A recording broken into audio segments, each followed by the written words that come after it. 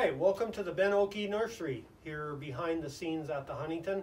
This is where uh, we do our work. This is where a lot of the, the real action in bonsai occurs.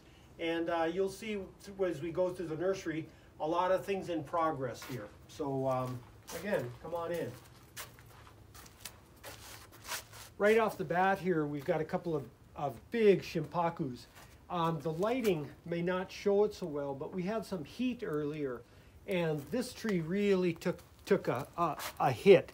You can kind of see some of the brown remnants left here. So we've kind of gone and cleaned a lot of the brown out of here, and it's probably going to be next year before this tree is really showable again. But uh, yeah, we had that 117 uh, uh, week again, and, and we, we had a few trees take a bite. Luckily, um, it didn't totally suffer. It will come back good. This is another one that, that same thing. It took a little bit of a heat. You can start seeing all this nice spiky growth up here. It's obviously recovering, um, but again, it's gonna take a little bit before this starts looking really spectacular again. If you wanna look down this aisle, we've got a, a guava here. It actually has a few fruit up in here on it. But um, that tall Hollywood juniper down on the end there, uh, I'll point that one out. That's a, a tree that um, was Dan Robinson's original chain carving demonstration in Southern California. It was about 40 some years ago. And um, uh, we had him back in 2013 for a convention where he did the second round of styling on that. So it's got some good history uh, here with Dan.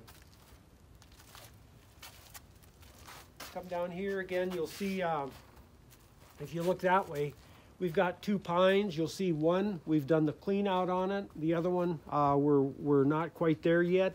One of the things we have to wait for a little cool weather to get to our pine work because uh, uh, we get a lot of needle drop. So as, as things harden off and we're able to get to them, we take them in stride. On this side, this uh, is a old liquid amber forest. We just acquired that from Maribel Ballandonk. Um, it's been here for just about uh, three weeks now. Just uh, went through its its uh, pretty foliage turn, but uh, we just cleaned it up the other day. So you can see it's a little leggy, a little wild. We'll get all that under control. Um, but nice old, old, old forest here. Here's a tree I'd like to point out.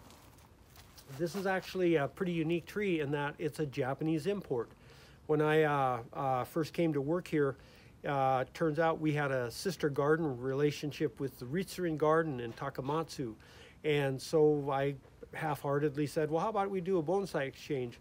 Well, looking into it, um, we could do that. Uh, the Huntington is actually an, uh, an import location, and we had a license, so we worked it out. And so they sent us this very old California, or California, old Japanese Shimpaku juniper, and we sent them a camellia. Now, one interesting thing, we this came, it was in quarantine for two years. Uh, a little over a year ago, we brought it out. And uh, last year, we had a convention here in Southern California, and it turns out uh, Mr. Urushibata from Japan was a guest headliner. And um, so we invited him uh, to work on this tree. And so he did the initial styling of it. What was interesting is um, uh, Mr. Urushibata had won the most recent Prime Minister's Award at the professional uh, uh, show in Japan, Kokufuten. And um, the governor of the prefecture where this tree came from was visiting Southern California uh, shortly after the convention, and he came to the Huntington and he specifically asked to see this tree. And so he and his entourage came here, and it created quite a sensation when I was able to tell him that this tree was then styled by the Prime Minister's Award winner from the last year. So that was kind of a proud moment for us. We've got it sitting in this crate because it's, it's, the angle is going to change. And so uh, this spring we'll, we'll properly get it at its new angle in a, in a proper pot. So we'll be well on the way to realizing his design. But uh, kind of a unique piece that uh, we actually were able to get a, a bonsai exchange with Japan.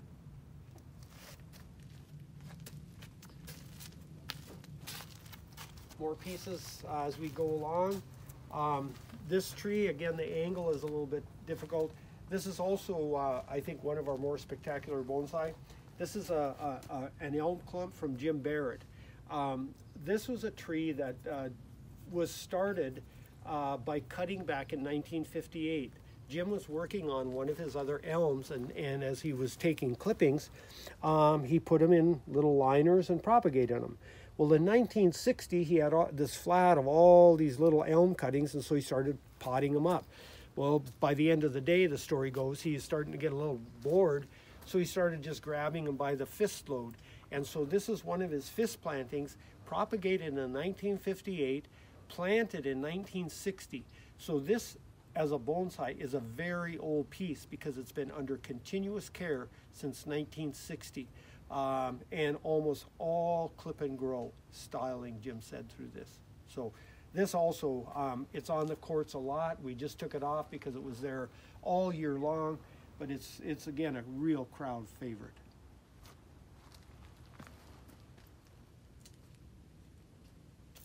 here's another Jim Barrett piece we're going through a quadrant repotting with this. This came to us uh, in soil that was kind of like concrete. And so uh, what we've done is each year, uh, starting in uh, March of 2018, 2019, 2020, and so this next March we'll do the final quadrant. And uh, we've been slowly, you know, getting uh, the twigging reveal, cleaning it up. So this is also going to be a spe spectacular tree. And part of it is because the bark. Um, there's about 60 years worth of bark intact on this, and the layers and the delicate sheets are really um, uh, quite, quite nice. Uh, this tree was uh, originally from the Yamaguchi nursery up in Sanger. Um, Jim got a lot of his uh, early stock from there and, and has developed it in cans in his yard. So uh, again, this is, this is one of those old pieces from that nursery.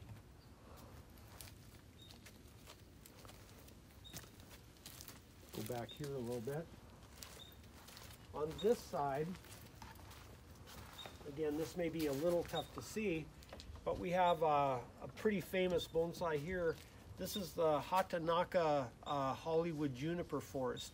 Um, again, old planting. This appeared in many bonsai in California magazines. And um, uh, the thing with Hollywoods is their foliage gets so leggy and so long that every once in a while you really have to knock them back hard in order to get them compact again. So a year and a half ago, this was uh, cut hard and it's coming back. It's recently been wired out and we're getting our, our shape back into it. So hopefully this next year, this one will get back on display because again, it's, it's a very popular bonsai.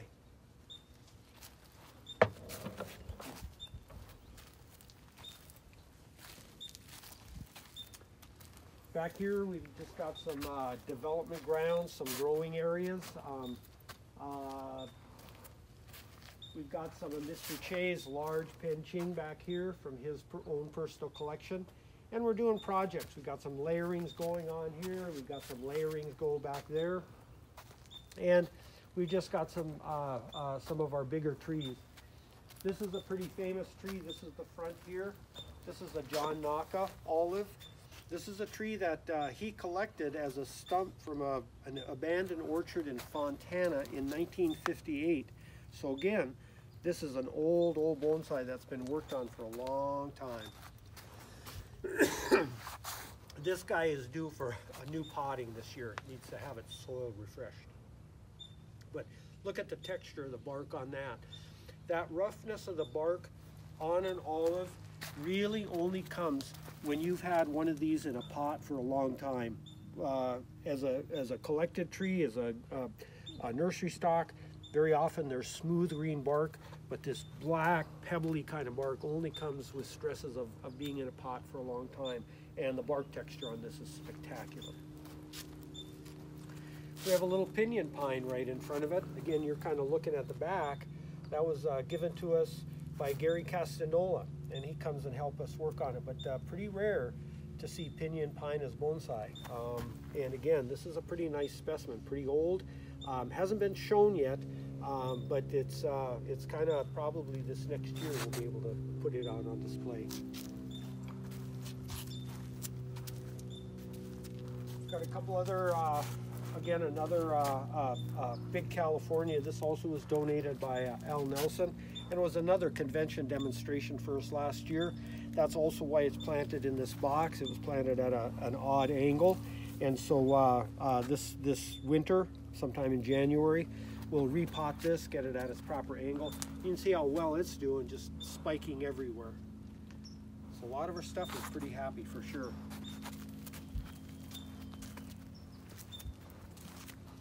You can see uh, another big bald cypress here. You can see it's going through a color change. It's not quite as pretty. That uh, experienced a little bit of a burn during the, the heat. So there's actually probably, you know, more brown in here than this really pretty coppery color.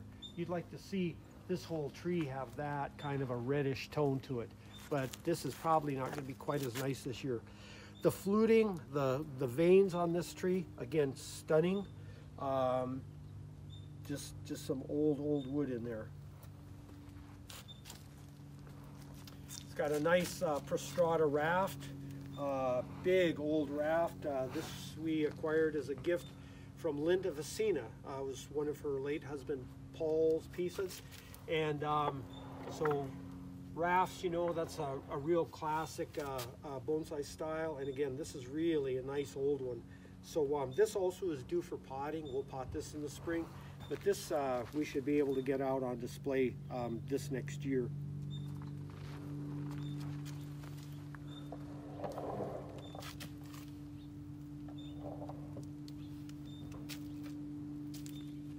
At the end of the bench right here,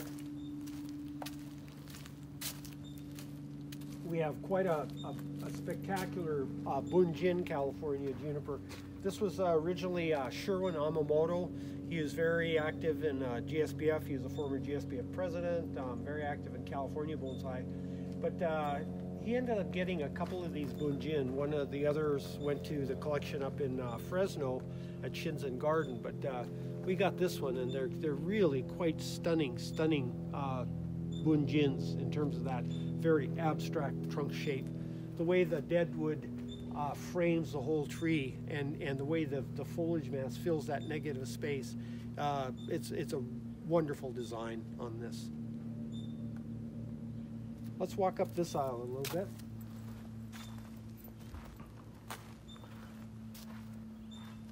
I'll point out this tree. Um, this is another tree that uh, was spectacularly engineered. This is a tree that was originally donated by uh, Bob Kinoshita. Well, uh, up until a couple of years ago, this wonderful twisty folded trunk in here, as it came up to about here, all of a sudden it just went up straight and all the branches just went out straight. So it almost looked like a very amateur tree from that point. Well, uh, once again, Tom Vuong created this uh, method for cold steaming. So what we did is we applied his, his process to the trunk from this point going all the way up. And with that process, we were able to crank this from being vertical 11 and a half inches all the way down here. And then we were able to put this movement, that movement, every bit of that movement was then subsequently put in um, as this tree was designed. So we've got it heavily reinforced, but yeah, this tree too. Now the top of this tree has the drama and the placement to match the drama and the placement of that lower trunk. Um, that transformation made this from a, a, an interesting tree to a truly spectacular bonsai. This this will be one. It, it's really never been shown. Uh, I'm so anxious that this next year, hopefully, get it on display because the the lower part of the trunk, I think, again, is as nice as you'll see anywhere.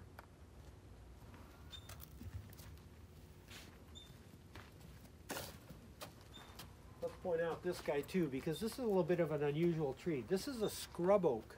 Uh, traditionally, scrub oaks are, are kind of seen as a very short-lived bonsai.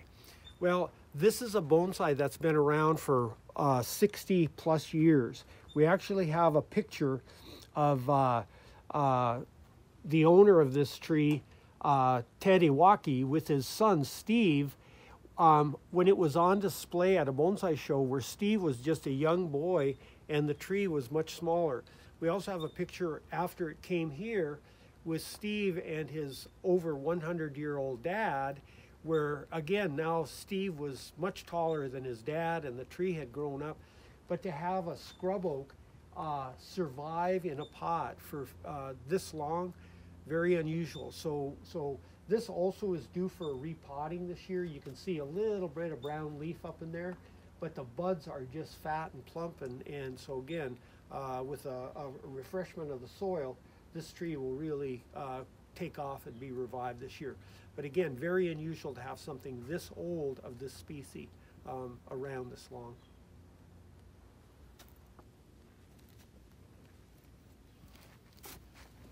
Why don't we go over to the other side and point out a few things there?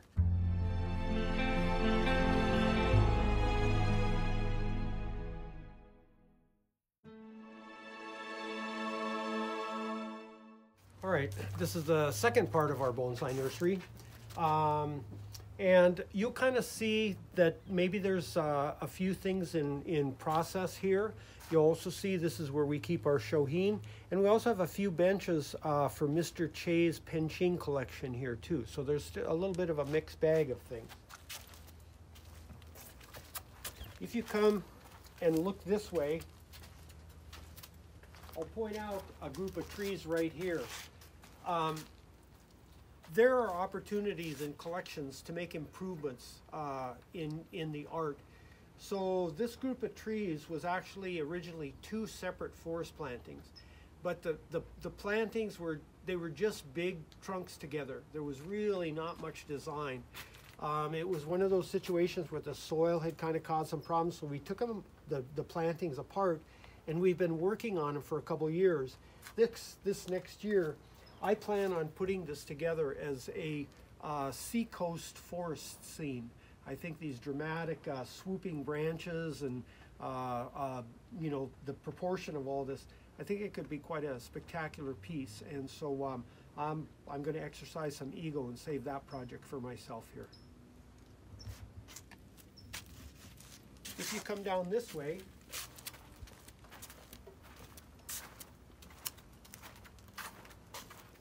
you will see um, one of our more famous bonsai as well. This is Goshin 3. So this is uh, the third planting of John Naka's famous uh, forest, Goshin, that's in uh, the National Arboretum. It turns out that um, uh, once that forest left California, uh, folks here were a little bit disturbed that all our treasures were going. So, so what happened is at two subsequent conventions, John created two more versions of this, one that resides in Northern California and this one that resides at the Huntington. This tree uh, or forest also went through a transformation. Um, some poor soil uh, caused some problems with some trunks. So we disassembled it. We grew individual trees in individual pots to strengthen root systems for a couple years. And then in 2019, uh, Jack Sustic, the retired director of the National Arboretum, came and we made an event at a California Bonsai Society show of the reassembly of this. And it turns out that uh, Jack was involved in the creation of all three Goshins. And so he was a perfect person to come in and lead this. Uh, we've been working to refine the pads. We had some development because we had some replacement trees, but this is uh, turning out to fill very nicely. And again, this year, we'll probably get this back out on the courts for display for the first time in many, many years. If you want to turn around, you'll see here's our Shohin working trees. We've got trees in development. We got trees um, that we rotate and display. You'll see quite a collection of olives. Um, these are trees I've used in some of my classes where I do a potting demonstration. So some of these are, are just accumulating from that. Right here, you see a group of trees that Ray has planned for a swap out probably on Tuesday. The gardens are closed on Tuesdays. So those are our days to really get in there and, and do some essential work. And uh, for Shohin, if you remember uh, the display area, these will, will be swapped out next Tuesday.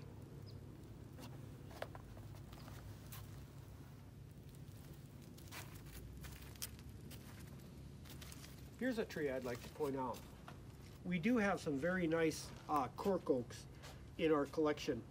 And uh, this we acquired last year as a gift from uh, John Jackson down in uh, San Diego area. And the thing I'd like to point out, this is the front of this tree. The thing I'd like to point out about this is, um, again, beautiful corking, but the subtle movement, the delicious taper in this tree with no trunk chop. That is, that is truly remarkable when, when you see how beautiful this gentle taper with the movement and the flow is, and there's not a spot in that trunk where there was a big cut where you see a big rollover or a stub or anything. So the, the way this tree was developed, it, it, it again, you, that trunk is, is so desirable. And so what we're doing is we're working on a little branch refinement, little crown refinement in that structure, but really everything is, is, is to highlight this, this really stunning trunk in this tree. Now, um, on this side, we've got a couple of benches. Um, these are some of Mr. Che's penjing. Um, these are trees, like this group of trees, for example, he developed all this, these pieces in his yard. This was put together also in 2019 as a demonstration featuring a couple of Mr. Che's colleagues who had come from uh, China. And uh, they donated the pot, Che donated the trees, and again, this was uh, quite a, a, spectacular demonstration. Um, as it gets refined, it will end up going out on the Penjing quartz. So you'll see we've got a couple things. Here's a, a pomegranate, pretty spectacular pomegranate. You notice that some of the penjing in here look a lot like bonsai. A lot of uh, the trees you'll see in here actually started as bonsai, this one in particular. This was started by Ernie Kuo and he was one of John Naka's uh, uh, primary students, uh, an incredible bonsai artist, and um, uh, you can see that that you know this is a pretty classic Naka style bonsai in terms of its proportion and all that stuff. So um, even though it's part of our Penjing collection, it definitely has more bonsai characteristics, and there's a couple of those that are like that.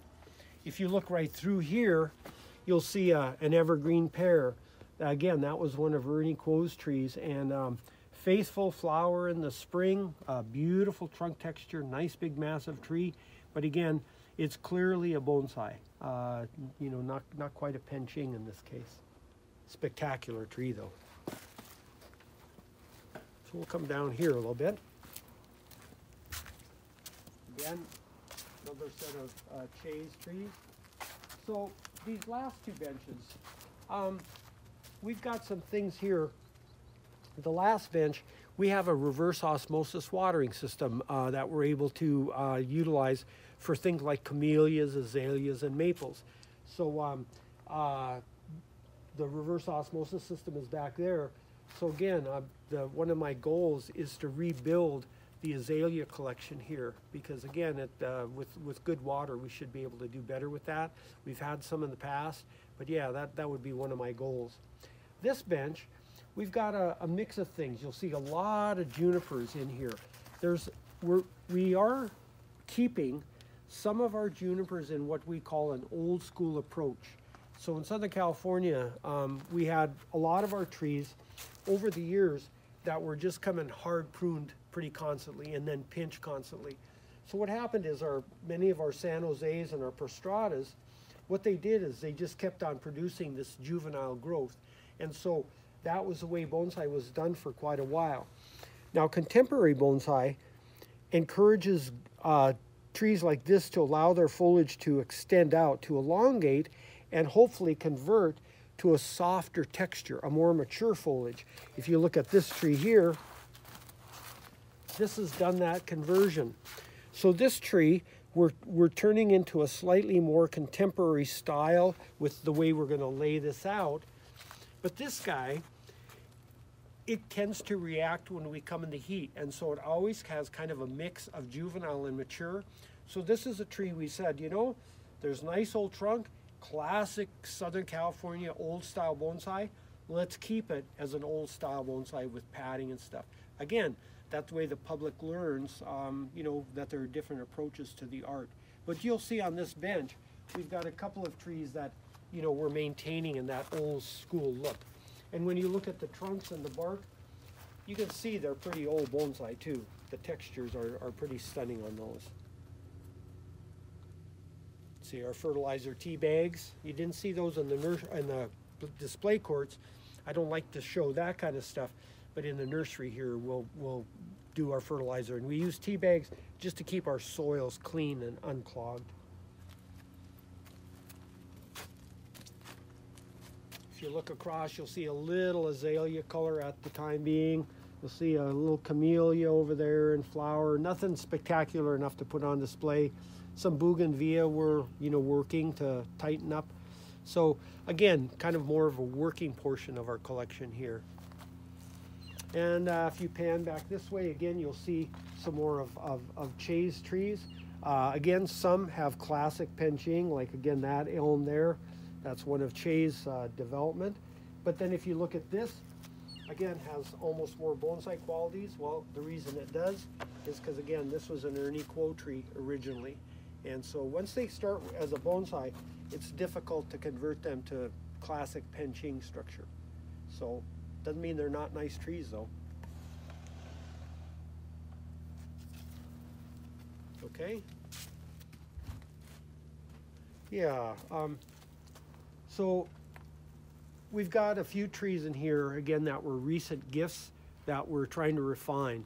So here's another cork oak more compact, beautiful trunk. Again, no trunk chop, but uh, we're, we're trying to fill our branching out here. So again, um, stuff in progress. You might not see some of these trees on display for a couple of years, but again, it's good to have uh, elements that are in process so you have some future or two too. Um, that's the thing that makes our, our art unique is we also have to deal in that fourth dimension of time we also have to always have to be looking ahead. We always have to be kind of planning. Where's our tree going? Where's it going to be in a couple of years?